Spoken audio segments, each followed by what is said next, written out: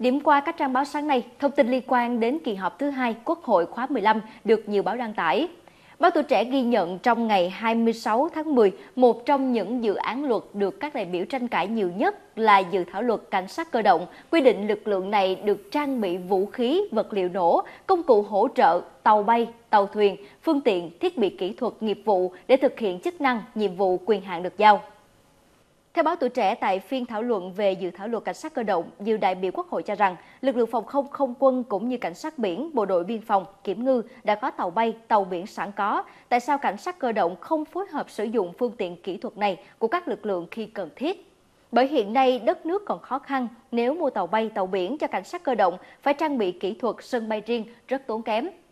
Tuy nhiên, nhiều ý kiến khác lại cho rằng cảnh sát cơ động là lực lượng nòng cốt quan trọng nhất của công an, tham gia chống khủng bố, bảo đảm an ninh trật tự, chống bạo loạn, không thể vì tiết kiệm mà không mua cho họ tàu bay, tàu thủy. Ghi nhận về tình hình mưa lũ tại các tỉnh miền Trung. Thưa quý vị, hôm qua 26 tháng 10 trên địa bàn tỉnh Quảng Nam đã phát hiện 6 thi thể người dân mất tích do mưa lũ. Trong đó có một thi thể người Quảng Nam được phát hiện tại Quảng Ngãi. Có mặt tại hiện trường báo Thanh niên đưa tin, Sáng sớm ngày 26 tháng 10, người dân địa phương Quảng Nam phát hiện một thi thể trôi trên sông Bàn Thạch. Ngay sau đó, một thi thể nam thanh niên được phát hiện tại cầu Ông Hiền. Ở khu vực miền núi, một thi thể khác cũng tiếp tục được phát hiện cùng với ba thi thể khác trôi dạt vào bờ biển trên địa bàn xã Tam Nghĩa, huyện Núi Thành. Trong khi đó, Ủy ban Nhân dân huyện Triệu Phong, tỉnh Quảng Trị đang phối hợp với các cơ quan chức năng tỉnh tổ chức cứu hộ truy tìm một nạn nhân mất tích trên sông Thạch Hãn. Nạn nhân là giám đốc một công ty có trụ sở tại thành phố Đông Hà.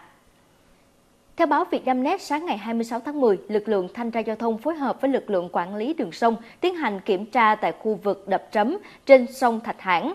Khi tàu vừa qua đập trấm thì bất ngờ xảy ra sự cố chết máy và lật nghiêng trôi dạt về gần đập. Lúc này khoảng 6 đến 7 người ở lại trên tàu, riêng một người chủ động nhảy xuống sông để bơi vào bờ thì không may bị nước cuốn trôi, mất tích. Nhận được tin báo, Công an tỉnh Quảng Trị đã điều động lực lượng cứu hộ, phối hợp với chính quyền địa phương tổ chức ứng cứu, tìm nạn nhân mất tích. Nhằm chủ động ứng phó kịp thời diễn biến của áp thấp nhiệt đới có thể mạnh lên thành bão, hai tỉnh Ninh Thuận và Bình Thuận cấm tất cả các tàu thuyền rời bến để ra biển hoạt động. Thông tin do báo Sài Gòn Giải phóng đăng tải. Tỉnh Bình Thuận cấm tất cả các tàu thuyền rời bến để ra biển hoạt động từ 6 giờ ngày 26 tháng 10 cho đến khi có thông báo mới. Còn tại tỉnh Ninh Thuận, Ủy ban Nhân dân tỉnh này nghiêm cấm tàu thuyền ra khơi đánh bắt và hoạt động trên biển kể từ 20 giờ ngày 25 tháng 10. Ủy ban Nhân dân hai tỉnh này yêu cầu các đơn vị liên quan thông báo, kêu gọi tất cả tàu thuyền về neo đậu nơi an toàn tại các khu tránh trú. Các địa phương sẵn sàng sơ tán dân trước khi áp thấp nhiệt đới đổ bộ. Liên quan đến vụ việc 13 học sinh lớp 10 ở tỉnh Quảng Ninh bị ngộ độc sau khi ăn kẹo không rõ nguồn gốc, theo thông tin trên báo Dân Trí, sau khi được các bác sĩ tại Bệnh viện Hạ Long điều trị, các em này đã ổn định sức khỏe và được xuất viện.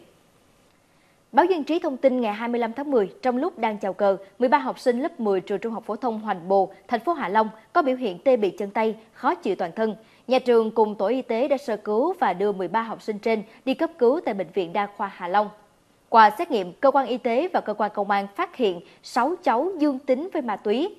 Qua điều tra, cơ quan công an khẳng định đây là vụ ngộ độc thực phẩm chức năng, không có dấu hiệu vi phạm pháp luật liên quan đến ma túy. Công an thành phố Hạ Long phối hợp với các cơ quan chức năng tiếp tục hoàn thiện hồ sơ, xử lý vụ việc theo quy định.